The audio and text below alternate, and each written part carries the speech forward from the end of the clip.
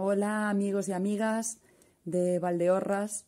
Bueno, Malia, que estamos pasando estes días eh, unha, bueno, un tempo un poquinho malo co dos incendios e queremos mandarlle moita forza a todos os nosos veciños e veciñas que se viron afectados.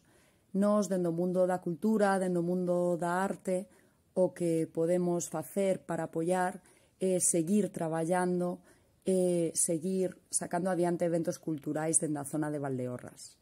Así pois, quero vos invitar este domingo 24 de xullo a iso das 9 da noite na Praza da Fonte, en Arcos, o meu espectáculo de narración oral O tío Florencio, para seguir coñecendo a Florencio e seguir gozando del nestas noites de Florencio.